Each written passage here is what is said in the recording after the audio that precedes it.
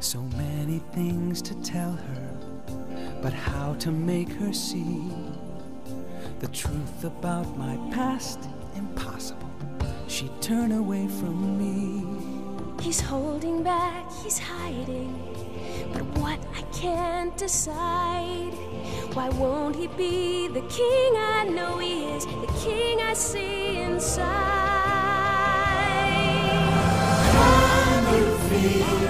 la la.